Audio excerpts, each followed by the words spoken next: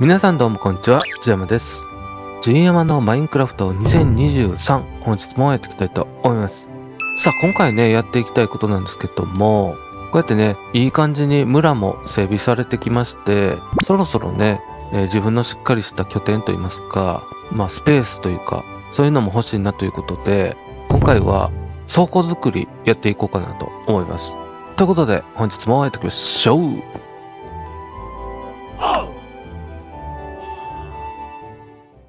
杉山のマインクラフト2023。さあ、ということでね、今回は倉庫作りということで、やっぱりね、今のところ、こういう感じで野ざらしでね、ずっとやってるので、まあ、それもね、あまり良くないなということで、で、今回ですね、ちょうどね、ここの、なんていうんですかね、こう、岩肌があるんですけど、ここのね、空間がなんかちょうどよくあって、で、この上部分もね、高さもありますし、さらに奥行きもね、ずっと、ちょうどこの下ら辺になるんですけど、なっていくので、ここをくり抜いて倉庫にしていけば、いい感じにできるんじゃないかということで、今回ここをね、使っていきたいと思います。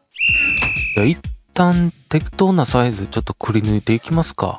じゃ、ここを、ここのね、家のこのあれが中心なんで、こを中心として考えますか。真ん中は奇数で、ここにずっと柱が立つとして、うん、ちょうどここでええか。ここを基準に、折りまして、ここもここが中心ですね。で、1、2、3、4。だからここも、1、2、3、4。で、ここか。こになる。うん。この幅で掘っていこうか。イメージ的にはここにまあだから柱が入っていくイメージですね。うん。で今度、奥行きを決めていきましょうか。ちょっと目印としても、先になんか木材とかでちょっと当たりもつけながらやっていくか。なんかその方が作りやすそうやな。だから一旦この松明を置いたこの場所が柱にっていくイメージで、ここに設置しまして、で、ここに2マスで、チェストが並んでいくと。で、また柱が入って、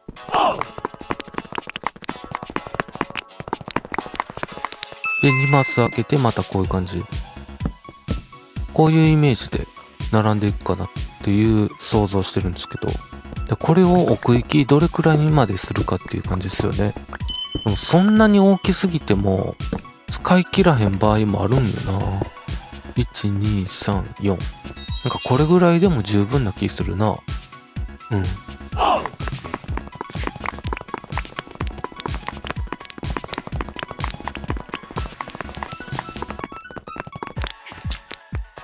これでこう柱が並んで、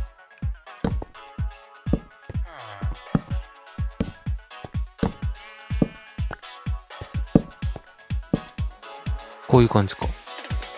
チェスト何段置く？でも最初やしな、2段ぐらいでええか。これぐらいのサイズ感で十分かもな。うん。だからこの感じで、ちょっと一回ここをね、全体一気にくり抜いていきたいと思います。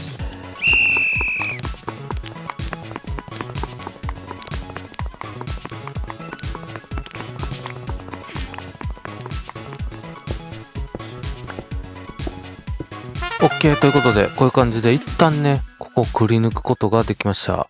じゃあ続いては、柱を一旦入れていきましょうか。ここと、ここをね、ベースに、2マス置きに、柱を入れていく。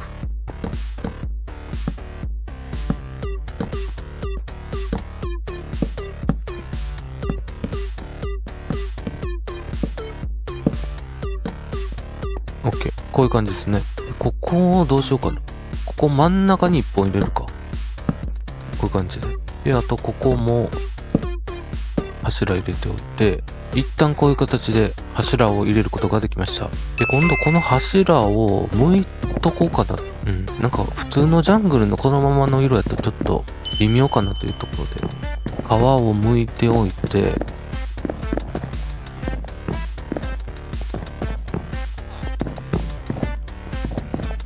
OK。こういう感じにしときます。いいね。じゃ続いてね、ここ、チェストを置く場所を一旦、掘って、松明大きいの、どうしようかな。丸石でいいか。で、丸石でここ、塞いでおいて、これで多分ね、明るさがしっかり出てくれると思うんで。この要領で、チェストの置く位置にこういう感じでちょっと変えておきましょう。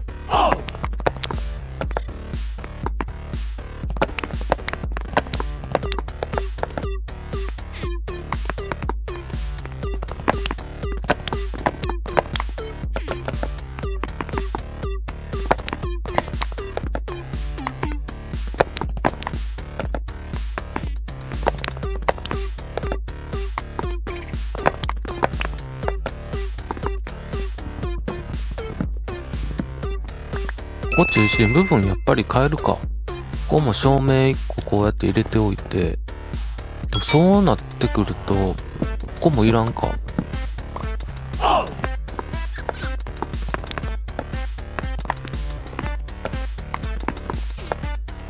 うん、いいか、こういう感じで。こういう感じにしとこう。で、あとはここにチェストを置いていきましょうか。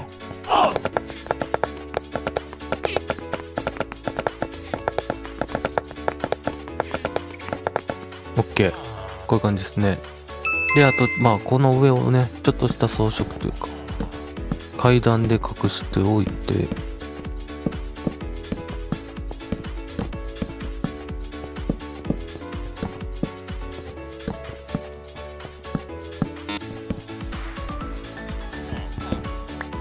オッケーオッケー。いいね。え、じゃあもう一段ぐらいここだけ高くするか。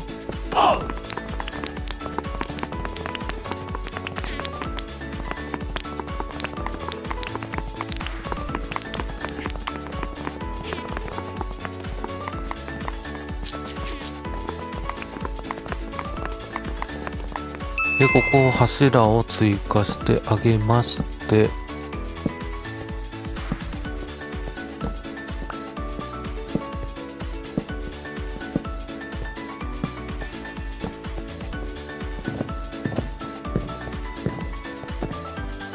こういう感じやな。オッケー。で、ここをフェンスにしてあげますか。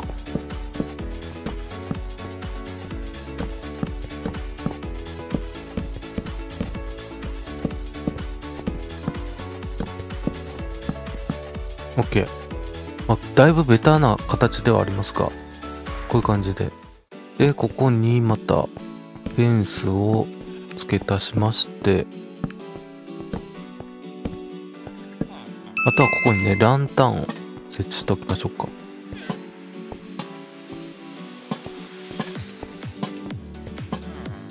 OK、いいね。はい、ということでね、こういう形で倉庫完成しました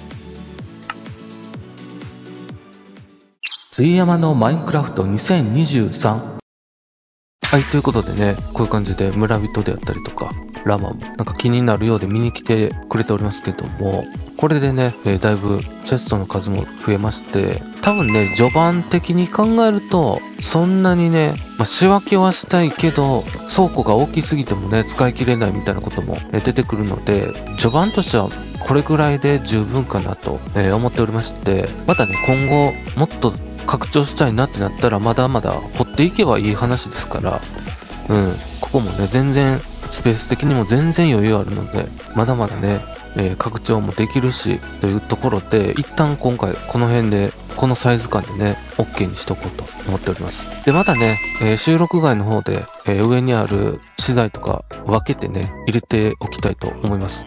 ということでね、えー、今回この辺で終わりたいと思います。今度が良かったよとか、まあ、その倉庫の感じいいですねとか、えー、参考にしたいなとかね、えー、思っていただけた方、ぜひチャンネル登録、そして高評価の方もよろしくお願いいたします。ということで、また次回の動画でお会いいたしましょう。バイバイ。